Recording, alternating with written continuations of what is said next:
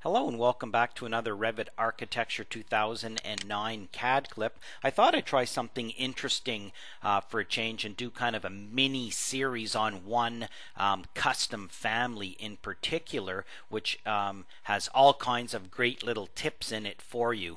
Um, too many tips to actually mention. So what I'm going to do is uh, demonstrate how this custom beam, architectural beam works um, in this first CAD clip, and then we'll break it down in the next four or five um, videos on how to build this um, custom architectural beam. Um, at first glance, you will look at this and think, well, that's not really that complicated, but there's a little more um, than meets the eye going on in the background with this particular family. So we'll start out by demonstrating um, how it works here. I've got three different views set up, a front view, a 3D view, and a plan view.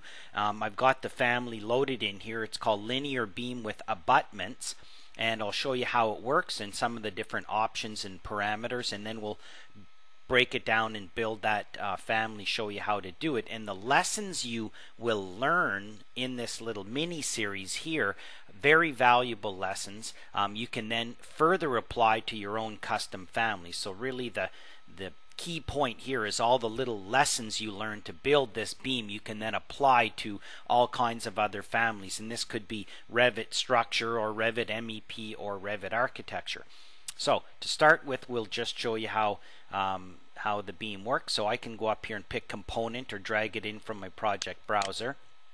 Linear beam with abutments. So I'm just going to start by dragging in the first kind of hitting escape here and then in here I just need to zoom in and out. There's a bit of a graphics anomaly taking place there. Now the first thing I can do is I can align this. It's a linear beam. I can stretch that manually anytime I want. Nothing fantastic about that. We've all seen families that kind of do that a linear based family. I can do an alignment and I can align to this grid line here and I can lock that align to here this edge over here and lock that as well. Okay escape escape I can then click on this grid line and we can nudge this and we can see what happens over here. I can click on this grid line, nudge that. So that's nothing fantastic. So the next thing we can do is we can add a material to this. So we can click on this object. I can go up to the properties and we can say, well, the beam material is, you know, wood beam. And we'll show you, I just created a new material and added a rendered um, pattern to that and some rotation. So I'll add my wood beam material to it, hit OK, hit OK, click out, and there's my beam. Okay, and we can look at this in um, in hidden view or you know wireframe or whatever we want. Doesn't really matter. Okay, so go back to shaded views. Now the other option we have on this, I can go into any view I want. It doesn't matter. I can pick on this beam and I can add in our little abutments. So I can go to the properties after I've selected it and say I want to turn on the right side abutment. So I do that, turns on the right side abutment, brings that little guy in. I can then click on it in any view. It doesn't matter.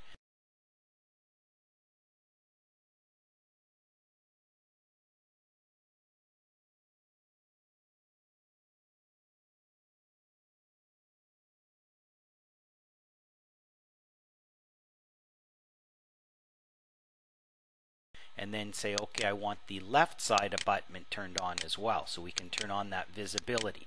Now, one of the challenges in here, believe it or not, and we'll learn this, is how to get rid of these little seam lines.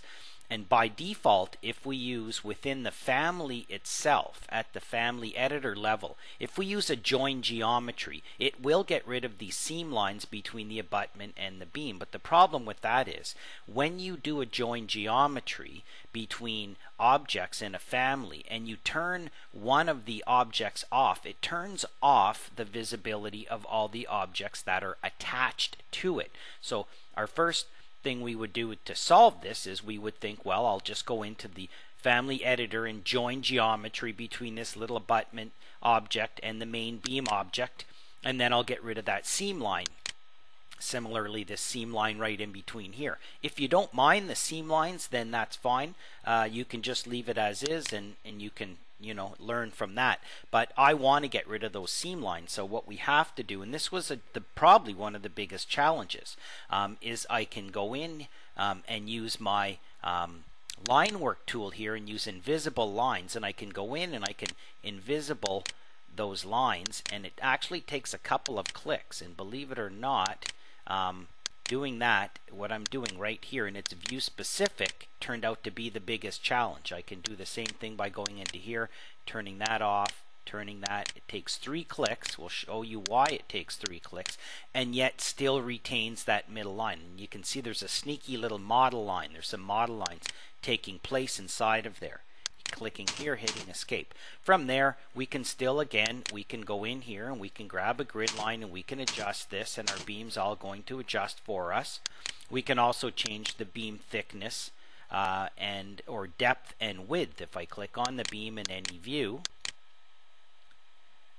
I don't want to dimension that. Click on that. I can click on the beam in any view I want, go to the properties and change the beam width to be, you know, uh, 16 inches and maybe the beam depth to be, you know, 18 inches and then hit OK and then my beam is going to adjust accordingly and all my line work and everything is going to retain itself. Okay, so really um, that is the family that we're going to create. Now, if I decide later I only want one abutment turned on, I can go to here anytime and I can go to my properties and say, you know what, I don't want to see the right abutment, and then I can hit OK, and then I can turn that right side abutment off. Now I need to go back to my line work and use my by category and go in here and turn that little line back on. I'll change this to say um, hidden line. It'll be a little more apparent. Okay. Similarly, hitting escape, if I click on this beam and I go back into here and say, oh, I want, I don't want to see the left abutment and click out.